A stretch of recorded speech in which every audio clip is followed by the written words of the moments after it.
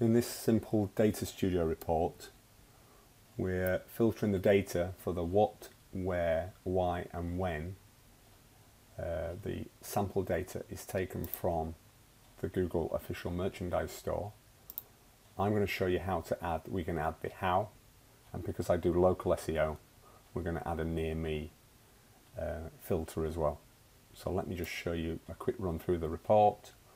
You can filter by country. So we let's choose the United States. Let's choose mobile only and then we can see the data changing there. Let's change the date range. Let's go back a couple of months.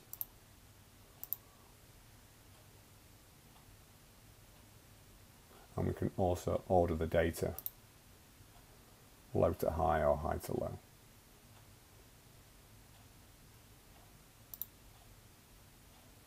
Okay, all right, I'm going to show you how to add the how and the near me. So we go to edit. This is page one of one, so we want to duplicate this page. Just makes it quick and easy. So we go to duplicate page. So this is now the second page.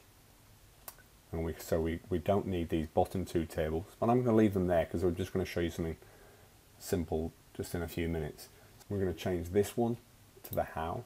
So let's just change that text there.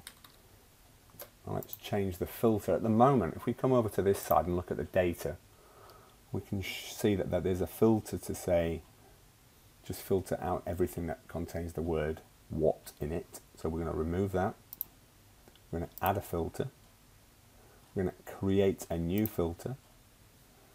So the filter I'm going to call how.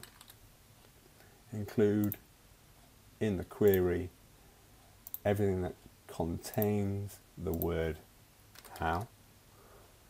Save. And you'll see that actually updates immediately. We're going to change this to the near me.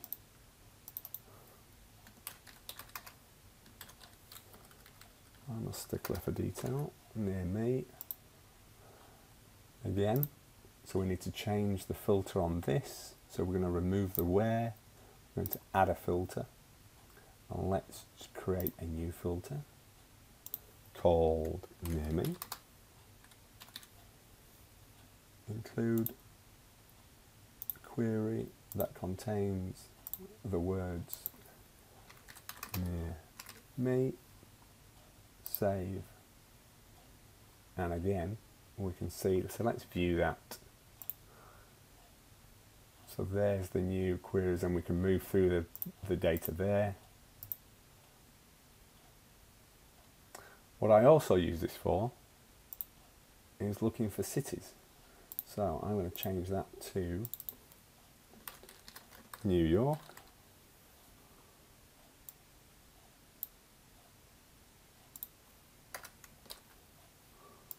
I've already created the filter, so we go back to data we remove the Y filter, we add a filter, you'll actually see I've got it in there. So all the queries with the word New York in there. And let's just change this to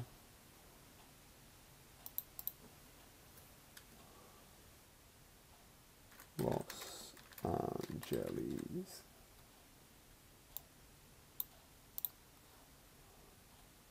Data